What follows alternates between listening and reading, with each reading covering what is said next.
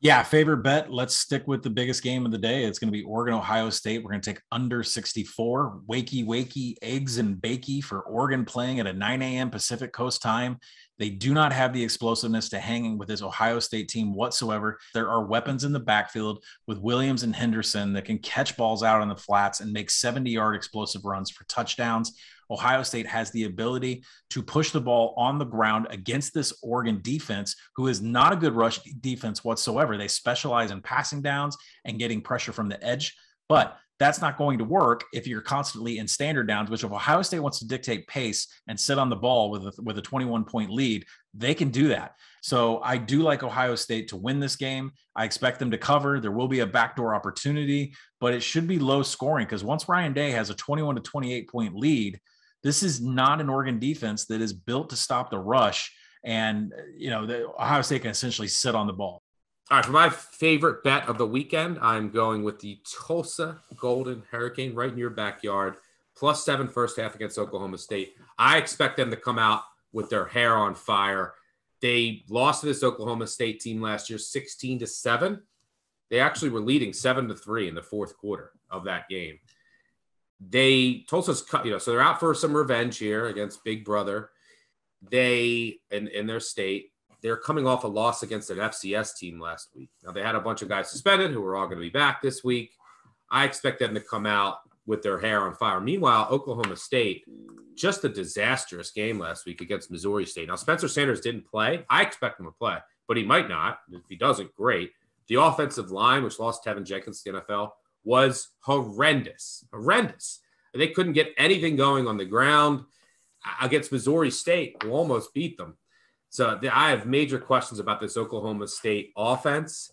And on the other side of the ball, look, they lost their star defensive end Ford, for the year. Tre Sterling, one of the best safeties in the country, won't play in the first half.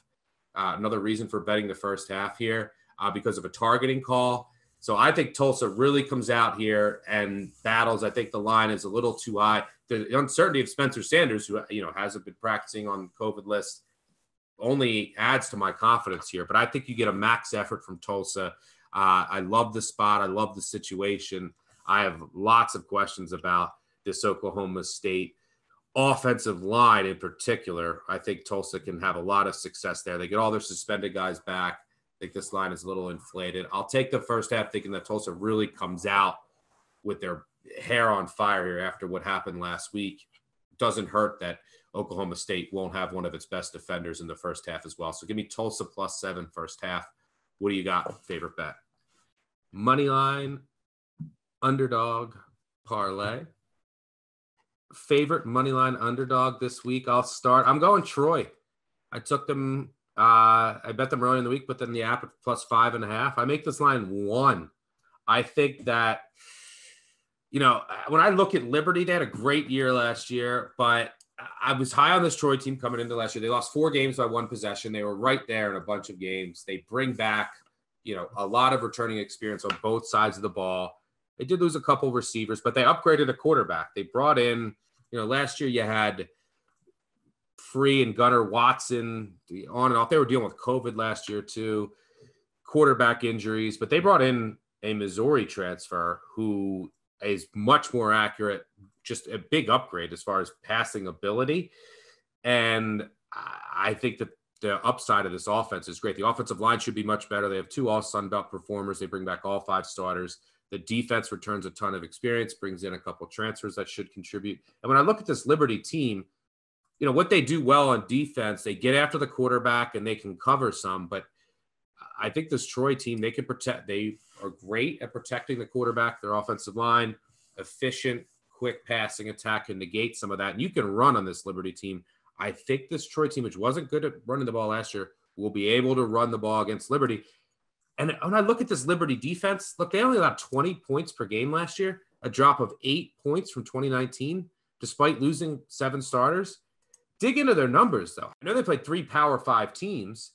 They held NC State to 15 points, but I mean, NC State had their backup quarterback. Look at the other teams they played. I mean, Va Tech put up 35 on them. Coastal Carolina put up 38 on them. They have such misleading numbers. Here are the FBS teams they played. Think about these FBS offenses last year Western Kentucky. They went out and got uh, adopted Houston Baptist's offense. How bad it was. Florida International. UL Monroe never led for a second. Southern Miss had seven coaches last year. And UMass. Those were the FBS schools they played. The so that's five of their 10 regular season games. Oh, and they also played North Alabama and Western Carolina. So there's 70% of their games. And then one of the Power Five teams they played was Syracuse, who had an embarrass, embarrassing offense. So I don't think this defense is as good as their numbers indicate. I think they're being inflated in the market. I'm also pretty high on Troy coming in the year. Was a buy on team for me. Uh, I like Troy. I think they win this game outright. Give me the men of Troy and the Trojans. How about you? Money line underdog? Yeah, I mean, I like I like Troy too. I took them uh, season win total over, so this is definitely one that we need to get. It is just not a lot of underdogs on this card, and there's a lot of small ones. Considering you know we we didn't get the money line parlay home last week with Fresno, they came close to cashing a big one. Felt like I may might need to go a little bit smaller here. I I don't think we have a clear power rating on South Carolina.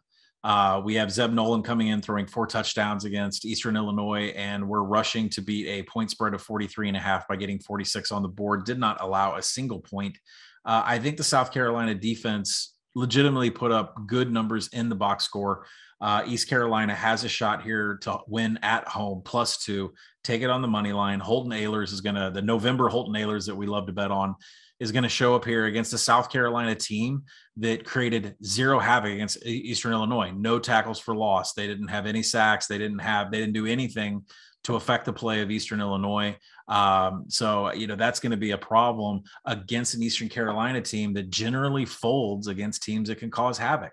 Um, if you can't bring that, then the Pirates have a shot to beat you outright, and I'll take them at home in Greenville as a, as a two point dog. Don't want the points. Let's do it on money line.